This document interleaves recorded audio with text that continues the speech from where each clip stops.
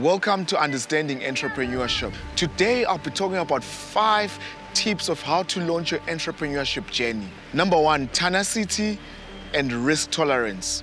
How are you gonna bring the idea to life and turn that idea into monetary value? Despite the risk that are involved in this entrepreneurship, you need to be able to wake up in the morning and still push your passion. Number two, creativity. Creativity is the pillar of every product that you do. What innovative ways are you going to be putting in place to educate your clientele about the product that you're selling?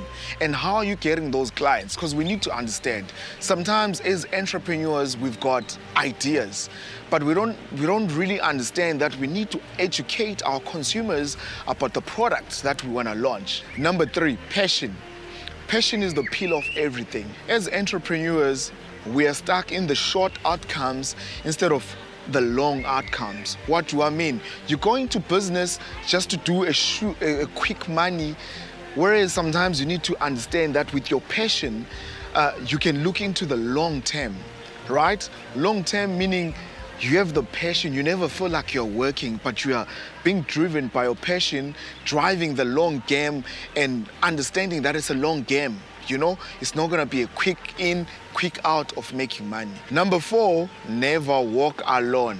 It's very important. As entrepreneurs, sometimes we are stuck in this journey alone and not understanding that the journey is not just for you to walk alone.